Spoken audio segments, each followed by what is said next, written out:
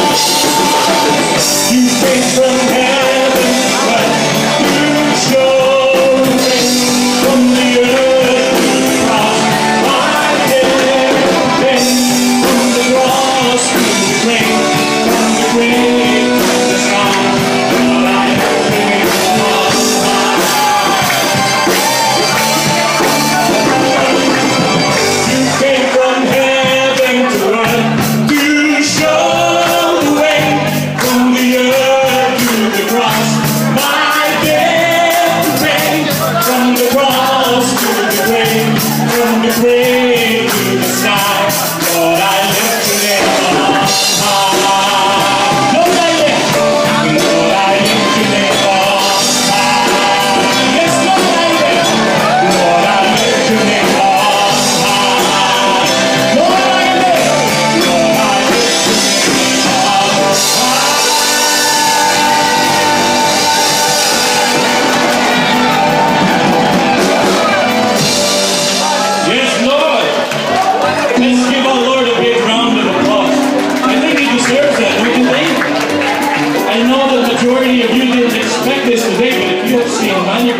himself.